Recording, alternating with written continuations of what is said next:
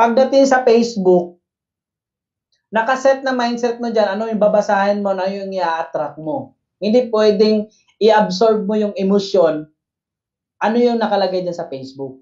Na ilan na ang namatay, ganito na ang namatay. Pagdating sa awareness lang pinopost namin, na awareness Nakas- lang yan. Pero ikaw mismo, mag-filter ka sa sarili mo, ano lang ang pwede mong gawin. Kung hindi mo kaya yan, yung tulad na sabi ko kanina, huwag ka na lang mag-scroll. Gamitin mo na lang ang Facebook mo, saan mo gamitin. Okay? So may tuturo ako sa inyo mamaya pa regarding online um uh, paano uh, paano mag-market uh, sa Facebook, may turo ko po sa inyo mamaya. Pero ngayon, ano yung solusyon natin? Solusyon natin ngayon, yung iba, grabe, ano kaya yung solusyon? Pabalik-balik na ba? Oo. Ang pagpabalik-balik yan, ng sinasabi ng mga trainer dyan, pabalik-balik, para maintindihan natin lahat na kailangan natin mag-adjust. So, ngayon, i-level up mo yung skills mo. Ano yung skills mo ngayon? Baka yung skills mo ngayon, pang offline lang, yung typical na pupunta ng opisina, ganitong gagawin, o typical na ganito. So, tayo, uh, try mo kaya ngayon online na skills. So, pag-aralan mo yung online na skills, uh, it helps a lot uh, kung paano gawin ang uh, ang online. So lahat lahat tayo ngayon uh, updated po sa sa online. Eh kasi ako tingnan mo ha, online ko. 'Di ba nagti-TikTok ako? Yes o yes? Kaya ako nagti-TikTok, hindi lang na nagti-TikTok, gusto ko lang mag-TikTok. Alam mo ba ang preparation ko sa TikTok? nakakapagpasaya ako ng tao. In short, nakakuha ako ng leads na umaangat yung ano ko, yung rank, kumbaga. Kaya ako nag-TikTok. Listen to guys, kaya ako nag-TikTok. Preparation po yan. Bakit? Ang TikTok is a marketplace. So, nagko-contribute tayo ng mga video ngayon.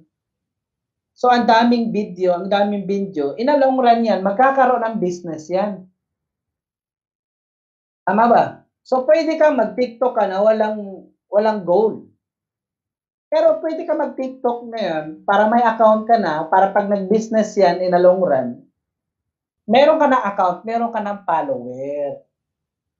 So, ibig sabihin, preparation, ngayon ko pa siya ginawa, ngayon ko pa siya tinanim, pero in a long run, aanihin ko to, pagdating to sa panahon na to, na pwedeng gawin to na mag-post na lang ako ng business na to, at least marami na akong follower, naka-notify na siya.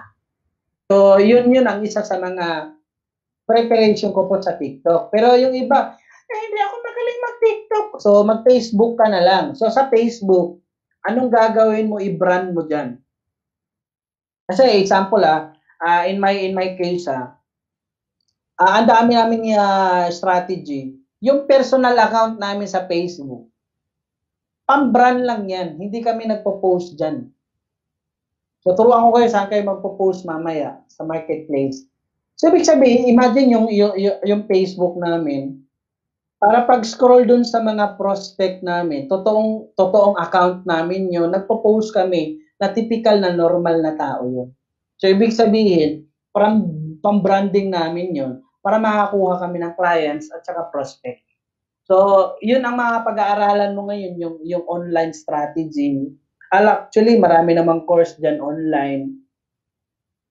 Kasi kung gusto mo talagang yumaman, gusto mo mabago yung buhay mo, lalo na pag nagbe-business ka, lalo na ngayon na networker tayo. Kasi typical na empleyado ngayon, natatakot na sila kung sila sa trabaho nila. Eh, what if wala silang ibang skills? timbog sila, tama ba? Pero kung ikaw business business mindset ka na ngayon, entrepreneur ka na ngayon, networker ka na, mas lamang sa iyo sa ganitong sa, sa, sa ganitong nangyayari ngayon. Bakit? Tinuturuan mo na yung sarili mo para magiging independent. Tinuturuan mo na yung sarili mo na napagbayaran yung freedom. Kasi ang freedom kasi may bayad. Imagine kahit nasa bahay kami, kumikita kami. So, ibig sabihin, yun ang nagagawa pag independent ka na. So, ibig sabihin, sa utak mo pa lang, reverse psychology na yan na, oh, wala kaming trabaho, pero hindi kami humingi sa government. Uh, hindi kami nag-ano ng, uh, ng ayuda ng 5,000 o 8,000. Uh, total, ang mga networker hindi naman qualified. Alam mo yun, pwede kang ma pwede kang mag, magtampo kasi wala ka doon sa listahan. Pero pwede mong gawin na advantage ka sa pana, sa sa panahon. Bakit? Nasanay ka na na wala ka doon sa listahan. Ibig sabihin, nasanay ka na sa sarili mo na independent ka sa sarili mo na kahit wala pa lang tulong sa government, mabubuhay ka po. So, yun po yung uh, isa sa mga advantage na become uh, entrepreneur. So, nag-create ka ng anong um, may, may, may, may ano ka ba? May mindset ka ba? With or without, kailangan ko itong ituloy. Lalo na po pag unified member ka na. Lalo na po, I, I'm sure ngayon lahat, alam mo, uh, grabe talaga, grabe talaga stress. Pero wala pa rin kung magpapastress ka pa din. Wala, wala din eh. Mabubuhay ka pa din eh. So it's time na may ano yung buhay mo ngayon. Uh, may purpose na para mabuhay ka. Kasi this time around, pa anong nangyayari? Anyway, pantay-pantay naman tayo lahat. Pero for sure, uh, wag mong wag mong ma ma-destroy kung ano yung nasimulan mo. Wag sana ma-destroy yung mindset mo kung ano yung pinagdaanan mo tapos ma-destroy lang sa ganito. So it's all about preparation ngayon. So when you say preparation, I'm sure marami tayong realization. Pero this time around, you need to prepare. Alam mo ba, grabe preparation ko. Alam mo ba, dito lang nabuo yung plano ko this 2020. Yung plano, dito ko lang na nasulat. Na, alam mo yung, dati hindi naman ako talagang nagsusulat anong, anong plano ko. Pero ngayon, sinusulat ko na ano yung ano yung plano ko. Nasulat ko siya ng buo. Sabi ko, grabe. Uh, it helps a lot na kailangan pala talaga focus kasi pwede naman ng ano, pwede namang tawag nito, pwede namang uh, makisabay lang ako, ka, kaitulog lang ako dito. Pero, ngayon ko lang nasulat na ano, ang gusto ko pala, uh, ang gusto ko, mga pangarap ko, preparation ko po ito pagkatapos ito ng ito nang iniisip ko ngayon. Uh, pagkatapos ng quarantine, ang gusto ko, meron akong garden. Imagine, pero imagine ha, sa maliit lang na mindset ka na, tama, gusto ko magkaroon ng garden. Gusto ko magkaroon ng, gusto ko na yung, yung lupa namin, gusto kong taniman. Alam mo, nakapag-isip ako ng plano sa ganito na ito pala ang realization. Maganda pala pag nasa bukid ka. So, kahit kahit quarantine, uh, pag nasa bukid ka, alam mo yung duka uwi, pero ano ka pa din, uh, nagbi-business ka pa din. Uh, kahit doon, masaya ang buhay, kahit walang ano, kahit walang, una, social distancing. Pangawa, pangalawa, fresh, uh, fresh air. Uh, pangatlo, nakapag-isip ka ng todo. Bakit? Malawak yung, ano mo, malawak yung na, nakikita mo. Tapos, uh, ang gusto ko, ganito, ganitong bahay ang gusto ko mas na-excite ako sa ganito na gusto kong ganitong bahay, native lang, ganito, ganito, ganito yung plano ko. Imagine, ngayon nga, uh, quarantine, gusto ko matapos ang quarantine eh. Bakit? Ah, uh, gusto ko na simulan. I-execute ko talaga yun. Bakit? Nabaliw talaga ako na sobra na, ah, ito pala yung na-realize. Ito yung na-miss ko dati. So, kaya lang, preparation, paano ko makukuha yun? So, involved doon pera. So balik tayo dun sa negosyo. Ano yung ipe-prepare mo sa negosyo mo? Lalo na ngayon, ah, ito, ito, ito online, marami dyan. Pero this time around, kung anong baraha meron ka ngayon, kalam, online, cellphone mo, gamitin mo po yan para kumita ka ng pera. Gamitin niyo po yan. Kasi yan po ang, yan ang simula. Kaysa naman, Kaysa naman yung iba, ang, ang gusto ng iba, gusto ko agad pera para makapagnegosyo. Pero sa panahon ngayon, kailangan ng idea. Idea, ano pa ba ang constant idea na pwede kong gawin sa negosyo ko, lalo na po sa Unified? It's preparation na lot. Ngayon, para mag-manifest po talaga yan. So, yung vision mo pa din. Hayaan mo na yung iba dyan. Huwag kang magpadala dyan sa, sa Facebook ano nang nangyayari. Sila na ang patay, ganito na. Uh, it's up to you kung paano pa ganahin yung mindset mo na na na pwede pa ba? Pwede pang gawin ba?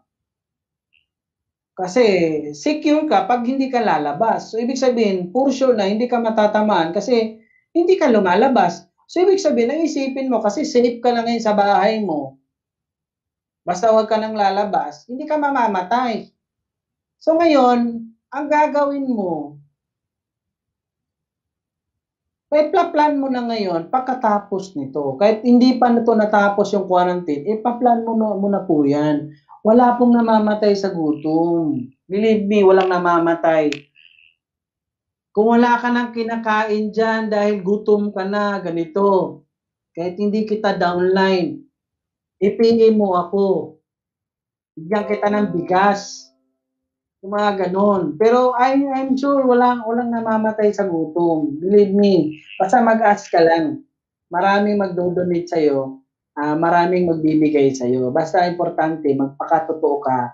Uh, practical ka po ngayon. Kasi sa panahon ngayon, nakakalimutan na ang tao may magiging practical. Kasi nababalot na po sila ng yabang, nababalot na po sila ng pride. Kaya this time around, tama na yun. Andiyan yung pamilya mo, mag-pray ka, ano ba dapat, ano ba resources gawin, ano ba pwedeng gawin. Kung may niyog dyan sa inyo, bukan ang inyong lubi. Ano, marig mo balik tatong sa unang panahon di ay na mga on naglubi mga onog mais, di ba? Mga ganun ba? Kung ano lang meron. Kung dati tatlong beses sa kumain sa isang araw, may merienda pa, pwede mo namang isahin ang kain, pwede mo namang hatiin. It's up to you. Yung, uh, yung mga dating ano, yung dating uh, lahat naman tayo siguro nakaranas ng hirap eh, except dun sa mga rich kid dyan. Pero yung mga, I'm sure, mahihirap, may mga nakakaranas tayo ng hirap sa buhay. So, yun muna ang gagamitin mong mindset. Pero uh, advance ka na doon sa iba na ano na na nag-hysterical na, na-stress na kasi wala na daw sila makain. 8,000, one week lang daw 8,000 sa kanila. Hayaan mo na yun.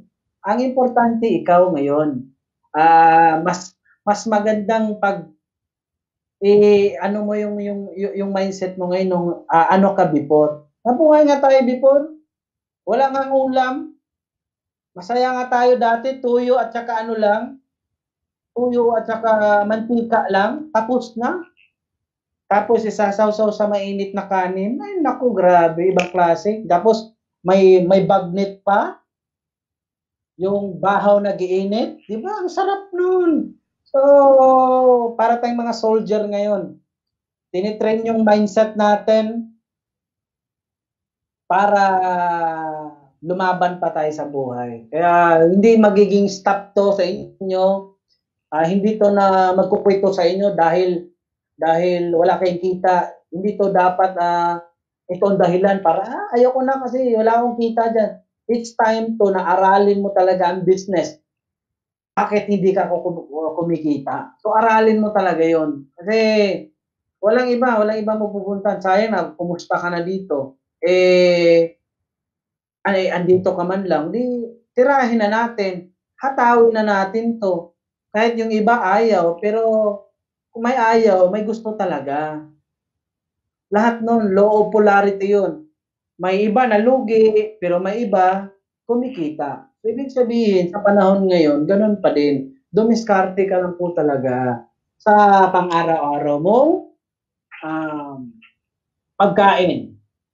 In fact nga, mas tipid nga ngayon eh. Kung tutuusin mo eh, kasi hindi ka umaalis ng bahay.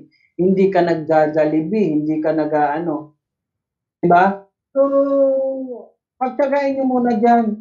Uh, anong pwede mong gawin yan pa ba sa pangkain? Basta, importante yung mindset mo na mas marami kang kaalam pagdating pagkatapos nito. Kasi hindi natin alam kung kailan ito matatapos. Makaka-recover tayo nito, hindi natin alam kung kailan tayo makaka-recover. Pero yung mindset mo, pag excited ka palagi, uh, may nalaman ka, may nalaman ka always, alam mo yung excited ka na kasi i-execute mo to pag pagkatapos nito, yun ang mga iisipin mo. So, bigyan mo sa mindset mo na may pag-asa pa